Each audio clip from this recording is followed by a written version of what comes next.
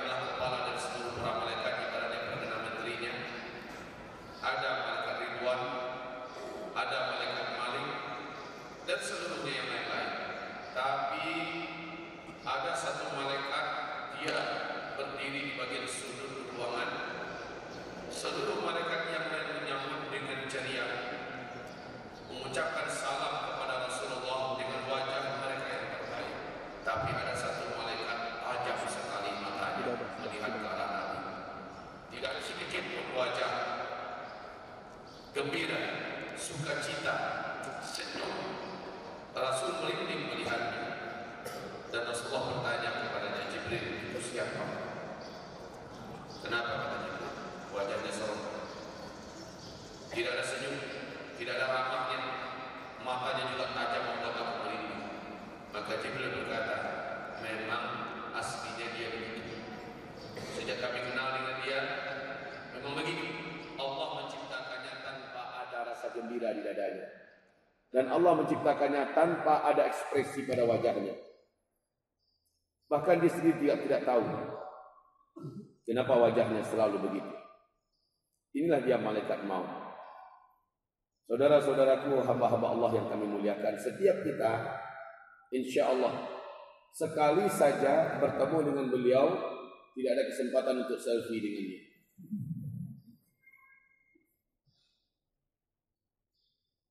Kedatangan beliau hanya satu misi saja. Ambil nyawa kita dan dia pergi dengan nyawa itu. Tinggallah bangkai yang selama ini dibangga-banggakan ke sana kemari. Tinggallah daging yang sudah menjadi bangkai, tulang yang sudah tidak bisa ngapa-ngapain lagi, kulit yang selama ini menyelamatkan daging kita semuanya jadi bangkai, ditinggal. Ibarat Allah yang kami muliakan, yang selalu ada waktu untuk bicara dengan malaikat maut cuma satu saja makhluk Allah, yaitu para nabi dan rasul. Yang lain nggak ada. Para nabi dan rasul memang Allah kasih waktu untuk sempat berbincang-bincang dulu dengan malaikat maut. Tanda penghormatan dari Allah. Maka Allah suruh para malaikat maut minta izin dulu. Saya malaikat maut, jadwalmu wahai Nabi Allah adalah hari ini. Jadi belum pernah juga dapat kabar oleh saya, saya baca dalam riwayat mana pun bahwa ada malaikat maut ngasih tahu, wahai Nabi Allah fulan, besok ya saya datang mau cabut nyawamu juga nggak ada. Tapi dia langsung datang, wahai Nabi Allah fulan, menurut jadwal engkau hari ini nyawamu diambil dari badanmu. Hari ini kematian. Tapi menurut perintah dari Allah kepada saya, jika engkau mau. Ini cuma kepada para nabi dan rasul. Jika engkau tidak mau, Allah mengizinkan engkau minta perpanjangan umur. Kau mau berapa, Allah akan beri. Dan aku akan kembali ke posko asalku. Kata Rasulullah SAW, tidak ada satupun nabi dan rasul yang ketika disebutkan bahwa jadwalnya sudah datang lalu minta perpanjangan waktu nggak ada. Seluruh nabi dan rasul mengatakan sekarang, sekarang. Saking rindunya seluruh nabi dan rasul kepada Allah Subhanahu wa taala. Udah nggak sabar, rasanya hidup ini betul-betul penyiksaan. Ketahuilah hanya satu nabi yang punya pengalaman unik dengan malaikat maut. Nabi itu adalah Nabi Musa alaihi salam. Nabi Musa tidak percaya kalau itu adalah malaikat maut ketika malaikat maut datang. Menatap dengan tajam kepada Nabi Musa membuat siapa pun yang melihat tatapan itu pasti merinding. Lalu Nabi Musa berkata, "Kamu siapa?" Nabi Musa kira-kira kita tahu temperamennya gimana. Dan Nabi Musa itu terkenal dengan jotosannya. Satu kali pukul mati di tempat orang. Jangan main-main dengan Nabi Musa. Sekarang ada orang yang melihat tajam dengan Nabi Musa. Apa kata Nabi Musa? Apa kamu lihat saya? Maka menataplah malaikat maut sambil mendekat, saya malaikat maut. Nabi Musa merasa dipermainkan. Ngaku-ngaku malaikat maut, kamu pak ditampal langsung. Ini dalam hadis sahih Bukhari. Di dalam hadis sahih Bukhari. Lalu kata Rasulullah, saking kuatnya pukulan Musa alaihissalam, lepaslah geraham malaikat maut ini, bergelantungan. Luar biasa kekuatannya. Mungkin kalau gabung Tyson dan lainnya satu kali tiup sama kali pukul sama Musa habis dah. Rasulullah melanjutkan ceritanya, malaikat maut naik kembali ke langit. Lalu dia melapor kepada Allah, Ya Allah, engkau utus aku kepada makhlukmu yang tidak menginginkan kematian. Maka kata Rasulullah, Allah pun memperbaiki kembali dagunya yang lepas. Masya Allah, satu kali itu malaikat maut dapat jotosan dan kena lepas langsung geraham bawahnya. Setelah Allah perbaiki malaikat maut keadaannya, lalu dia membawa tanda resmi dari Allah memang memang dia adalah malaikat maut. Ketika dia muncul kembali di depan Nabi Musa,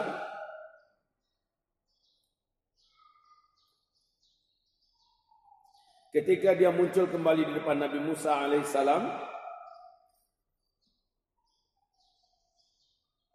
Musa melihat keadaannya sudah menjadi baik. Kamu lagi kita Musa. Tunggu tunggu Pak. Ini resmi dari Allah bahwa saya memang malaikat maut. Setelah dilihat oleh Nabi Musa, benar, ini memang malaikat maut. Sorry ya tadi. Salah forget kata malaikat. Gimana? Ini jadwal antum untuk saya ambil nyawanya. Kata Allah Subhanahu wa taala, katakan pada hambaku Musa, bila ia ingin umurnya diperpanjang, tempelkan telapak tangannya di atas badan lembu. Seberapa bulu lembu yang terhimpit oleh telapak tangannya Musa, setiap satu helai bulu itu Allah akan tambahkan umurnya satu tahun lagi. Apa kata Nabi Musa? Apa katamu? Untuk berjumpa dengan kekasih yang paling kurindukan harus bertambah lagi sekian lama umurku tidak. Jika memang hari ini jadwalnya, inilah yang kutunggu-tunggu. Ayo malaikat maut, jangan tunggu-tunggu lagi. Empat terus. Inilah peristiwa yang hanya terjadi antara malaikat maut dengan para nabi dan rasul. Tapi kita, semua kita sama. Enggak ada satupun yang istimewa di antara kita semua di hadapan malaikat maut. Dan belum ada sehebat apa pun jabatannya. Setinggi apa pun posisinya tidak ada yang dipandang oleh malaikat maut satupun. Sekaya apa pun dia, semuanya lewat oleh malaikat maut. Jangan sombong-sombong lah. Siapa pun kita di depan malaikat maut sama. Bahkan Dajjal yang begitu perkasa pun tidak mampu menghindari malaikat maut. Iblis yang kesaktian dan kekuatannya Allah sendiri yang mengumumkan kemampuannya harus mengaku di depan malaikat maut. Tidak ada yang bisa menandingi kekuatan malaikat maut. Tidak ada bahkan satu malaikat pun yang sanggup mengalahkan malaikat maut. Malaikat maut memang dialah puncak daripada keperkasaan dan kekuatan yang menakutkan. Siapa yang mengakhiri malaikat maut, langsung Allah yang mencabut nyawanya nanti. Malaikat maut adalah makhluk Allah yang paling terakhir yang mati. Ibarat Allah yang kami muliakan. Maka kedatangan malaikat maut hanya satu kali saja dan langsung ambil tanpa babi tanpa ada bincang-bincang. Makanya la yastakhiruna sa'ata wa la yastaqdimun. Siapa pun yang jadwalnya datang, satu detik pun tidak akan diberi oleh oleh, oleh malaikat maut jadwal negosiasi. Ini satu menit nggak ada cerita. Apalagi satu jam, apalagi satu hari. Datang langsung ditugaskan ngambil nyawa, ambil langsung. Makanya ibarat Allah ada orang yang lagi main sepak bola, sedang enak-enaknya main sepak bola. Mana ada cerita malaikat mau nonton dulu sebentar. Nunggu penalti dulu. Nggak ada cerita. Sedang di lapangan bola, sedang menggiring bola, ma berguling-guling langsung mati. Ada orang yang lagi menyiarkan berita, yang menyiarkan berita, sedang menyiarkan berita, mati. Nggak ditunggu nih berita keren ini. Malaikat mau nunggu dulu. Berita yang ini penting nih. Nggak ada cerita. Cabut langsung nyawanya. Yang sedang berjalan melenggang-lenggok untuk memperlihatkan pakaian dan tubuh yang bagus, mati. Yang sedang memimpin upacara, mati. Yang sedang BAB, mati. Yang sedang chattingan, mati. Banyak CCTV memperlihatkan kepada kita orang-orang yang mati mendadak. Dan itu sudah jadwalnya, saudara-saudara.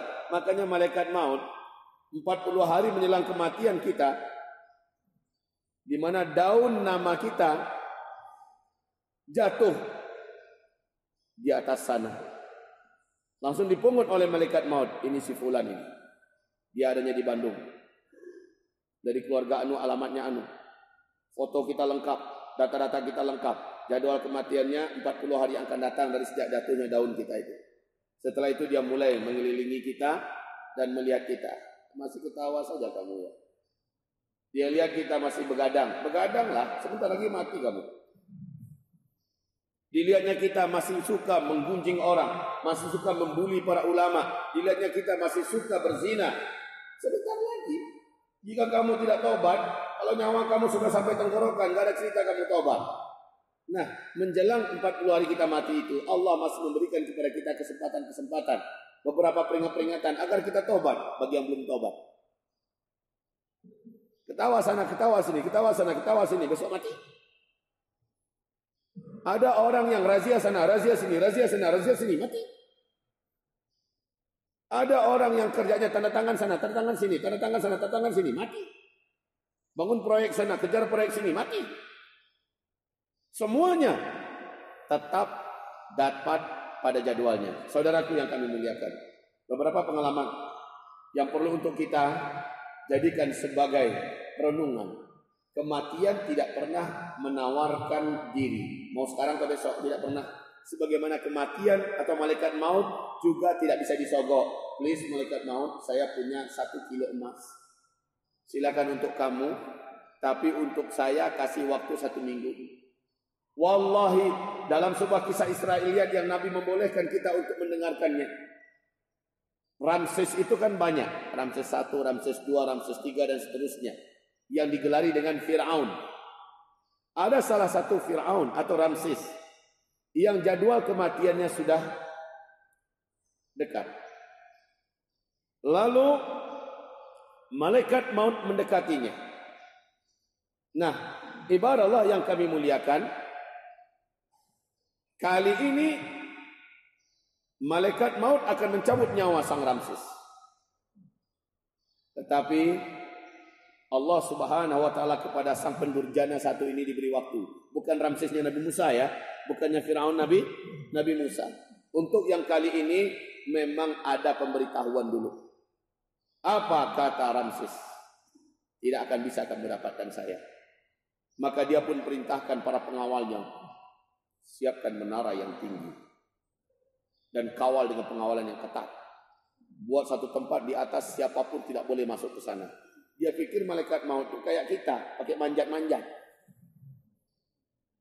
Ketika semua sudah siap, Firaun sudah di dalam, jadwal yang dikatakan adalah jadwal hari ini, katanya tidak akan ada satupun yang bisa sampai kemari. Pengawalan begitu ketat, tahu-tahu malaikat maut sudah tepat di depannya, langsung ditarik nyawanya dengan hina. Kematian memang tidak bisa untuk dan juga tidak meleset di zaman Nabi Sulaiman alaihissalam ada salah seorang pegawai dekat beliau bertemu dengan malaikat maut dengan tatapan yang tajam.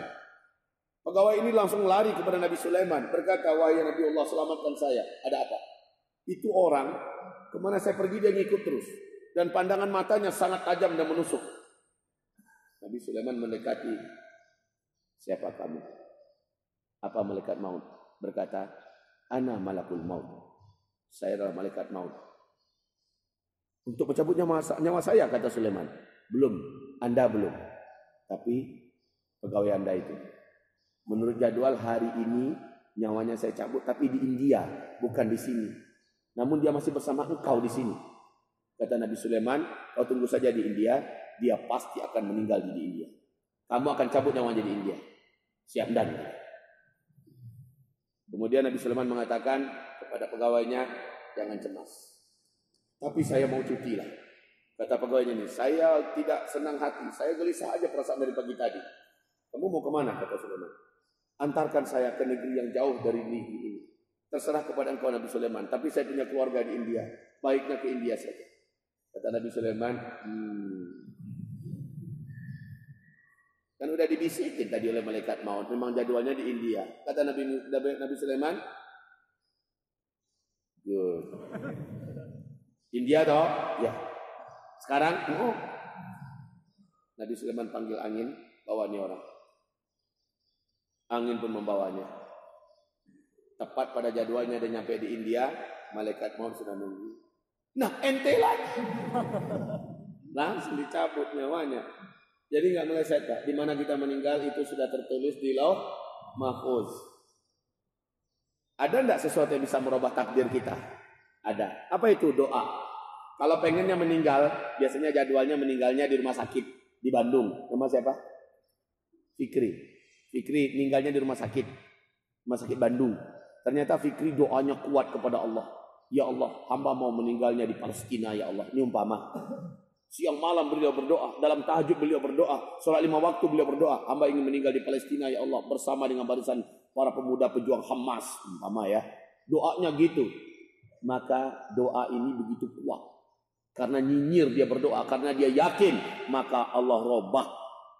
Allah robah tulisan di loh mahfuz yang harusnya di rumah sakit Bandung, tanggalnya sama, tanggalnya nggak bisa diperpanjang. Tanggalnya tidak bisa di, diperpanjang, tanggalnya tetap sama. Maka di sanalah Fikri akan mendapatkan kematiannya. Maka kata Rasulullah, pesanlah kematianmu kepada Allah seperti apa yang kamu cita-citakan. Pesanlah berulang-ulang. Para sahabat rata-rata berdoa kepada Allah seperti apa dia inginkan kematiannya. Unik-unik permintaan sahabat Pak. Tapi anehnya, setiap sahabat yang meminta dan berdoa kepada Allah seperti apa kematiannya, akhir hayatnya seperti itu. Ah. Maka dengan ini jangan ragu-ragu lah. Mau mati di mana? Insya Allah mau mati? Mau. Mau nggak mau pasti mati. Tapi di mana? Minta dari kepada Allah. Request dari sekarang. Karena kita tetap akan mati. Seperti kata Syekh Ahmad Yasin, pendiri Hamas. Nyawa di dalam badan ini cuma selembar. Nyawa di badan ini hanya sehelai. Dan dia hanya akan keluar satu kali. Biarkan nyawa ini keluar di tempat yang terbaik dalam keadaan yang terbaik. Dan Rasulullah mengatakan seseorang tidak akan dimatikan oleh Allah kecuali dalam hal kebiasaan apa yang dia lakukan dalam hidupnya. Maka dalam kebiasaan itu Allah akan cabut nyawanya. Maka Anda mau mati dalam keadaan apa? Biasakan dari sekarang. Saya mau mati dalam keadaan berdakwah, maka biasakan berdakwah. Berdakwah, berdakwah, berdakwah. Insya Allah di salah satu tempat terbaik ketika dia sedang berdakwah, Allah akan cabutkan nyawanya. Masya Allah. Sekarang boleh tulis di memorinya, boleh tulis di notebooknya, saya ingin meninggal dalam keadaan saya di depan Al-Quran. Saya sedang baca Al-Quran. Kalau begitu, biasakan kita akrab dan hubungan kita dengan Al-Quran hangat. Kalau enggak, enggak dari kelas apa-apa, kebiasaan kita cekek. Setan, ini setan ceper, Mati. Kan gak ada kerennya. Apalagi yang suka nonton. nonton di bioskop, mati di, di bioskop. Orang yang suka berzina, mati di selangkangan pelacur. Itu adalah mati-mati yang sangat menghinakan diri dan memalukan. Maka sekarang wahai saudara-saudaraku, pesanlah kepada Allah. Pesanan itu mesti disamakan dengan kebiasaan kita. Maksudnya, buat kebiasaan kita sehingga pesanan itu terkabulkan. Pas. Ya Allah, matikan hamba ketika hamba sedang berdakwah. Lah kerjaannya main bola, main bola, main bola, main bola. Nggak nyambung. Jadi harusnya nyambung, dibuat sama. Para sahabat rata-rata aneh minta mereka. Ada yang minta, ya Allah, matikan hamba sementara darah hamba berceceran di medan jihad. Dan badan-badan hamba terputus-putus oleh pedang musuh.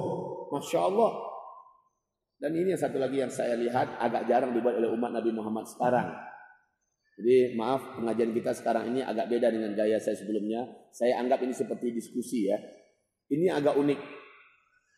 Sahabat-sahabat itu meniru Rasulullah. Doa mereka hampir-hampir orang lain bisa dengar, Pak. Istrinya bisa dengar, kawan-kawan dekatnya bisa dengar, sehingga sahabatnya bisa meriwayatkan, saya mendengar dia berdoa begini. Kan begitu ada riwayatnya kan? Saya mendengar dia berdoa begini. Karena doa itu sebenarnya bukan Kayak begitu. Apalagi ada yang berdoa diam aja. Kan malaikat juga negur, eh ente ngapain? Mestinya, ya Allah, wahai Allah, berikanlah kepada hamba kesempatan untuk datang menginjakkan kedua kaki ini di tanah suci Allah. Ya Allah, sebelum hamba engkau wafatkan, hajikanlah hamba ke tanah suci ya Allah. Lirih begitu loh Pak. Sehingga orang terdekat bisa mendengar. Dan bisa ikut mengaminkan. Jin-jin muslim yang dekat kita, malaikat yang dekat kita mengaminkan. Nah kalau dia siapa yang mengaminkan? Kalau malaikat makhluk yang tidak pernah buat dosa mengaminkan selesai itu makbul indallah. Makanya berdoa itu kayak Rasul. Rasulullah itu kalau berdoa sahabat-sahabat sekitarnya bisa mendengar doa Nabi. Ingat nggak doa Nabi ketika dia di perang Badar? Di mana para sahabat meriwayatkan kata-kata Rasul yang dinaikkan ke langit. Itu menandakan apa? Suara beliau terdengar dalam ber doa. Bunda Aisyah bisa menirukan doa-doa Nabi dan menyampaikan pada orang. Nabi malam tadi berdoa seperti ini. Nabi malam tadi berdoa seperti ini. Itu menandakan doanya dengan suara yang li, suara yang li. Makin serius dia meminta, maka semakin hebat tekanan suaranya. Ya Allah, ya Begitu Pak doanya, serius. Ada kalau doanya, ya amin. Aneh. Apa itu doa? Doa yang benar. Nah, sekarang minta kepada Allah. Khususnya dalam permasalahan yang kita diskusikan sekarang, yaitu masalah kematian. Ya Allah, sebelum engkau cabut nyawa hamba, izinkan kedua tangan ini ya Allah menjadi penyalur azabmu kepada musuh-musuhmu ya Allah. Jadikan hambamu ini ya Allah petaka dan musibah bencana bagi musuh-musuhmu ya Allah. Minta pada Allah bahasanya begitu. ya Allah, jadikan hamba sebagai salah satu di antara penyalur azabmu kepada musuh-musuhmu yang selama ini menghina Islam, yang selama ini menghina ulama, yang selama ini membunuh kaum muslimin. Jadikan hamba ya Allah saluran azabmu untuk mereka. Maksudnya apa? Maksudnya kita minta kepada Allah agar kita menjadi tentara Allah. Kan begitu? Dan sebelum engkau wafatkan hamba, izinkan tangan ini membunuh sebanyak-banyaknya musuh-musuhmu yang menghabisi Islam dan kaum muslim. Begitu Pak. Minta pada Allah. Ah, minta kepada Allah Subhanahu taala. Mohon maaf saudaraku. Saya sudah melakukan ini bertahun-tahun sejak saya kelas 2 SMP di pesantren. Saya mohon kepada Allah, kematian seperti apa yang saya minta, saya sudah mintakan pada Allah Subhanahu taala. Sampai sekarang nggak berubah permintaan saya kematian seperti itu yang saya inginkan. Makanya saya hebat apa pun bencana, saya tenang. Saya hebat apa pun goncangan pesawat karena saya termasuk yang paling banyak bolak-balik naik pesawat ke sana ke sini dalam negeri, luar negeri segala macamnya. Lalu ada kegoncang-kegoncang dalam pesawat, ada pingsan-pingsan dalam pesawat. Hah? Saya tenang saja. Kenapa saya tenang? Karena saya yakin saya tidak di sini kematian saya. Saya sudah minta kepada Allah kematian seperti apa yang saya inginkan. Bukan di dalam pesawat. Dan juga saya tidak mati, minta mati pada Allah sedang berdakwah sebegini. Tidak. Dan saya juga tidak ingin dimatikan oleh Allah. Saya menjadi pecundang di tangan musuh. Saya ditangkap, diculik oleh mereka, disiksa lalu dibunuh oleh mereka. Saya tidak minta begitu kepada Allah. Bahkan saya berlindung kepada Allah. Tapi saya ingin mati terhormat. Mati saya di medan tempur sedang berjihad di dalam Allah Subhanahu wa taala. Entah di mana, entah kapan. Apakah di Syria, apakah di Palestina? Wallahu alam. Saya tidak tahu. Saya hanya minta di bumi terbaik, di tempat terbaik, di waktu yang terbaik, dalam peperangan yang terbaik. Itu yang saya minta. Lalu darah saya berceceran di sana.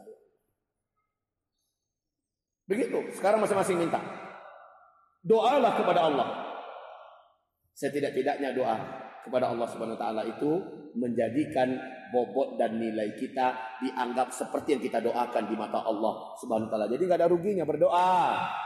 Ya Rob, wafatkan hamba setelah hamba hafiz Quran. Gitu mintanya. Tapi betul-betul dari sekarang hafal Quran. Wafatkan hafiz Quran, tapi asik main bola tenis meja aja. Main game kapan-kapan hafiznya. Diseimbangkan, disamakan. Saudaraku yang kami muliakan, dalam masalah kematian ini ambil iktibar dari orang terdekat kita. Saya kaget saat diumumkan. Saudara-saudara di Padang Panjang, mungkin sudah ada yang mendengar ini juga, saudara-saudara telah meninggal dunia pagi ini. Bapak kita yang kita muliakan di kampung kita, Datuk Fulan bin Fulan, nanti sholat zuhur Harap seluruhnya datang ke masjid. Kita akan sholatkan jenazahnya. Dan kita antarkan dia ke pemakaman ke peristirahatan terakhirnya. Diulangi balik. Semangat yang menyampaikan ini. Dan dia salah satu di antara aktivis masjid. Di kota Padang Panjang ya, Sumatera Barat. Ini diumumkan pagi hari. So, zuhurnya benar rame orang datang penuh masjid karena yang meninggal tokoh masyarakat. Ketika selesai sholat zuhur, keranda mayat pun di dalamnya ada mayat tokoh yang tadi meninggal diumumkan dibawa ke dalam untuk disolatkan. Eh, menyusul keranda kedua di belakangnya. Yang diumumkan cuma satu. Kenapa ada dua mayat? Maka orang mulai berbisik-bisik. Yang mana yang diumumkan tadi? Itu yang di depan. Terus kok yang kedua ini siapa? Kok nggak diumumkan? Yang mengumumkan tadi yang mengumumkan tadi masuk dalam keranda mayat pula. Dan dia tidak pernah tahu kalau dia termasuk yang akan disolatkan bersamaan dengan tokoh masyarakat yang meninggal. Ingat itu baik-baik. Kita sehat-sehat, seger-seger. Coba kalau seandainya pulang dari sini yang baru dengar pengajian, lalu dia tergeletak meninggal dunia. Bisa jadi kan? Kita tidak tahu nih, siapa di antara kita yang sudah didamping oleh malaikat maut sejak 39 hari yang lalu. Kita tidak tahu. Sahabat saya, teman saya, seorang dai kondang di kota Bukit Tinggi, diundang tabligh akbar ke kota Jambi. Kamis malam Jumat berapi-api dia menyampaikan, wah sepenuh semangat. Besok subuh juga ngisi. Jumat paginya, Jumat subuhnya diminta khatib Jumat. Dia pun naik. Sehat walafiat. Saudara-saudara, hamba-hamba Allah yang kami muliakan, masyarakat salatil Jum'ah, arsyadani wa iyyakumullah, bla bla bla bla bla. Dia diam langsung meninggal di tempat. Sedang khutbah. Sehat walafiat. Wahai saudaraku, ambil iktibar dari ini semua. Ambil pelajaran. Ketika kita tahu, maka inilah amalan para salafus saleh. Setiap salafus saleh Para ulama-ulama punya kebiasaan aneh-aneh. Tapi kebiasaan itu tidak ada satu pun disalahkan oleh ulama yang lain. Ada yang menggali kuburannya di depan pintu rumahnya. Sehingga ketika dia keluar dia ingat. Dia lihat langsung. Di sini nanti saya akan ditanamkan. Hati-hati. Jangan macam-macam di luar. Melanglang buana ke mana-mana. Ujung-ujungnya saya akan ada di dalam ini. Ada yang masukkan kain kapan. Masukkan dalam tasnya. Ke mana dia pergi kain kapannya selalu ada. Ada malah yang kain kapannya dijadikan sebagai lilit kepalanya. Makanya Imam Bonjol, Imam Bonjol kan lilit kepalanya besar tuh. Hah? Itu dijadikan sebagai kain kapannya. Ke mana-mana dibawa. Ustaz Arifin Ilham, dia berkata pada saya, Bang, ini sal Arifin ini, Arifin niatkan untuk kain kapan Arifin. Makanya salnya gede-gede. Ya, diselempangkan.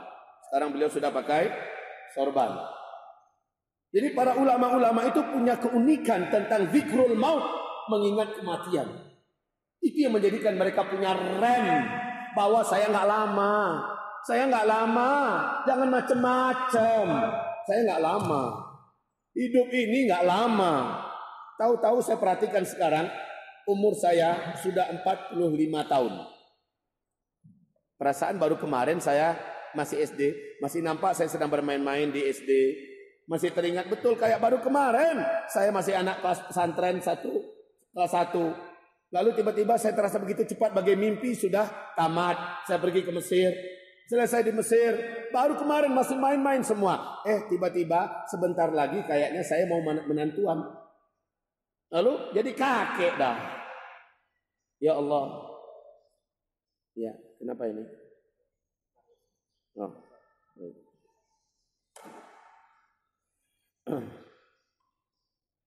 Saudaraku hamba Allah yang saya muliakan. Apabila kita ingin mengetahui bahwa sesungguhnya kita layak atau tidak mendapatkan husnul khotimah. Nah ini dia. Husnul khotimah hanya akan didapatkan oleh seseorang yang hatinya, yang lisannya, yang amalannya mengikrarkan kul inna salati wa nusuki wa mahyaya wa mamati lillahi rabbil alamin. Orang yang ikrar hidupnya, salatku, seluruh ibadahku, semua hidupku dan aku pun mati hanyalah untuk Engkau ya Allah. Orang yang hidup dengan hati yang ikhlas, orang yang hidup dengan amalan yang sesuai dengan yang Allah dan Rasulnya perintahkan, dan orang yang siap mengorbankan nyawanya untuk Allah dan Rasulnya, untuk agama Allah, orang ini walaupun meninggalnya di atas tempat tidur, dia pasti akan mendapatkan rezeki husnul khotimah. Tapi orang-orang yang menjadikan dirinya budak hawa nafsunya, apa yang dimau oleh selera nafsunya itu diikuti. Orang-orang yang telah menjadikan setan sebagai pemimpin dan komandannya, nasihat dan rayuan setan yang menyimpang dari Islam lebih lebih dia ikuti daripada nasihat Allah dan Rasulnya dan para ulama-ulama warasatul anbiya. Orang ini akhir hayatnya. Biiznillah taala suul khatimah naudzubillah ya Allah. Kenapa kita disuruh untuk sering-sering Bapak Ibu berkunjung kepada orang-orang yang akan mati? Atau orang-orang yang sudah sakit berat? Kunjungilah mereka, tapi baca doa perlindungan. Datanglah kepada mereka, baca doa perlindungan. Supaya penyakit yang ada pada orang itu tidak memindah kepada kita. Itu perintah Rasulullah. Alhamdulillahilladzi afani mimma ibtalaka bihi wa faddalani ala kathirin mimman khalaqa tafdila. Ini perintah Rasul. Asal kamu berkunjung kepada orang yang sakit, ketika bertemu dengan orang yang sakit, bacalah doa perlindungan di depan orang itu untuk dirimu. Ulangi sama-sama. Alhamdulillahilladzi afani. Mimma batalaka bihi. Wa faddalani ala kathirin mimman khalaqa. Tafdila.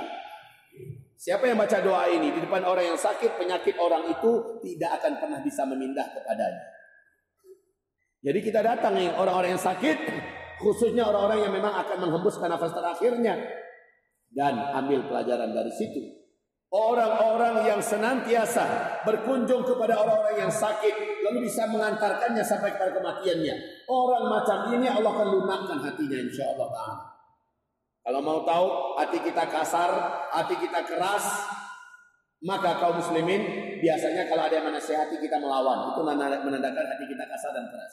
Mau lunak nggak hati kita? Salah satu caranya adalah kunjungi orang-orang yang menuju sakaratul maut, lihat kematiannya. Lihat kematiannya. Sambil mengajarkan talqin, lihat kematiannya. Banyak cara melunakkan hati, juga termasuk kunjungilah anak-anak yatim. Sentuh kepalanya, cium ubun-ubunnya. Ajak makan orang-orang miskin dengan kita. Kalau perlu di rumah orang miskin, biar lunak hati ini. Banyak cara yang diajarkan dari Rasulullah SAW. Tapi khususnya zikrul maut Wahai hamba-hamba Allah, datangilah orang-orang yang menuju sakaratul maut. Duduklah di sampingnya, hiburlah dia atau bacakan dia talqin lihat kematiannya. Ini akan melunakkan hati, akan mengingatkan kita kepada zikrul maut. Ibarat Allah, kegunaannya jelas. Zikrul maut hanya mengerem kita agar jangan lepas kontrol dalam hidup ini. Jangan lepas kontrol dalam hidup ini. Dan yang sudah punya amal, Bapak Ibu, haram bagi Bapak Ibu merasa puas dengan amalannya, sedang sudah merasa yakin, insya Allah, kayaknya saya mungkin husnul khatimah. Siapa yang kasih tahu bahwa Anda akan husnul khatimah? Sedangkan hafiz Quran di zaman para sahabat akhir hayatnya gimana? Dia hafiz Quran, mujahid dan dia terkenal dengan akhlak yang mulia. Orang-orang menjadikan dia buah bibirnya. Masih ingat nggak dengan sahabat yang satu ini? Kemudian ternyata dia berpapasan matanya dengan salah seorang wanita Asbania atau wanita Spanyol. Wanita ini begini menarik hatinya. Lalu dia menyatakan hasratnya dengan wanita itu. Wanita ini berkata, tak mungkin engkau diterima oleh keluargaku. Dan kami juga tidak akan mau menikah dengan engkau kecuali kalau engkau ada di agama kami. Singkatnya, nafsu telah menggelapkan matanya dan dia pun akhirnya masuk ke agama wanita itu. Hafiz Quran. Mujahid, akhlaknya bagus, hafal banyak hadis, indah agama demi wanita. Lalu tidak lama dia pun meninggal dunia. Hanya dua ayat yang masih keluar dari lidahnya. Dan itu ayat-ayat azab yang dua ayat itu. Gak ada jaminan sama sekali kita-kita ini akan dapatkan husnul khatimah. Orang yang ibadahnya hebat tapi ujub, akhir hayatnya husnul su'ul khatimah. Ujub. Teman-teman udah tahajud selama dua bulan, merasa sudah jadi wali Allah. Baru dua bulan tahajud merasa sudah jadi wali Allah. Baru berapa masjid dia tolong, Pembangunan masjid dia tolong, dakwah event-event diadakan, ujuk muncul. Orang macam ini kalau dia mati suul khatimah. Maka kata Nabi tidak ada yang paling aku takutkan dari kalian. Apabila kalian sudah meninggalkan dosa-dosa dan maksiat melebihi daripada ujuk, ujuk lebih aku khawatirkan menimpa kalian. Maksudnya apa? Lebih baik tergelincir dalam dosa lalu dia taubat daripada dia tidak pernah berbuat dosa tapi ujuk muncul. Ujuk merasa hebat dengan diri, merasa soleh, merasa taat. Orang macam gini amalannya yang banyak tidak akan menyelamatkannya di akhir hayatnya. Tidak akan menyelamatkannya karena ada ujuk. Karena ada rasa bangga melihat diri. Saya pinter, teman-teman saya selalu jadi anak buah saya. Saya soleh, saya selalu menjadi teladan untuk ketaatan bagi kawan-kawan saya. Saya adalah orang yang betul-betul menjaga diri daripada dosa dan maksiat rasanya saya sudah seperti kertas putih yang sangat bening. Itu ujub namanya. Ujub yang benar kayak para sahabat. Para sahabat itu kata Ibnu Abi Mulaika punya empat keistimewaan. Saya sudah berjumpa dengan 30 orang sahabat Nabi. Seluruh mereka punya keistimewaan yang sama. Empat keistimewaan para sahabat. Satu, seluruh sahabat merasa imannya masih lemah. Seluruh sahabat. Perasaan mereka imannya masih sangat lemah. Yang kedua, seluruh sahabat yakin amalannya belum banyak dan amalan yang sedikit itu pun belum tentu Allah terima. Coba menirulah kita kepada para sahabat. Ada ada pulang ujub nah kalau kalau kayak gini gayanya. Enggak ada. Seluruh sahabat yakin amalannya belum banyak, masih sangat sedikit dan yang sedikit itu pun belum tentu Allah terima. Yang ketiga, seluruh sahabat bila ada yang menegur bila ada yang menasehati dengan Al-Quran, dengan hadis, maka langsung dia bersyukur kepada Allah, berterima kasih kepada yang menasehati dan dia introspeksi diri, lalu dia perbanyak minta ampun kepada Allah Subhanahu wa taala. Ini seluruh sahabat. Yang keempat, seluruh sahabat merasa gelisah, jangan-jangan di dirinya ada sifat-sifat munafik. Ini empat sifat ini kata Ibnu Abi Mulaika dalam Sahih Bukhari. Saya sudah berjumpa dengan 30 orang sahabat Nabi. Seluruh mereka memiliki empat kesamaan. Ulangi balik sama-sama. Merasa imannya masih sangat lemah. Lalu dengan itu mereka gila-gilaan mencari cara, mencari jalan untuk bisa menguatkan iman. Yang kedua, seluruh sahabat merasa amalnya sangat sedikit dan yang sedikit itu pun belum tentu diterima oleh Allah. Akibatnya apa? Akibatnya positif sekali. Mereka bersemangat memburu amalan baru. Mengerjakan amalan baru. Dia berharap semoga amalan ini yang akan menyelamatkan saya. Semoga amalan ini yang membuat Allah bisa ridho dengan saya. Semoga amalan ini yang diterima oleh Allah dari saya. Nah, yang ketiga, kalau ada yang menegur dan menasehati, langsung dia bersyukur kepada Allah. Alhamdulillah. Dan dia berterima kasih kepada orang yang menegur dan menasihati. Apalagi orang itu menasihati dengan ayat, dengan hadis. Dia muliakan langsung ayat dan hadis yang didengarkan. Dan yang keempat,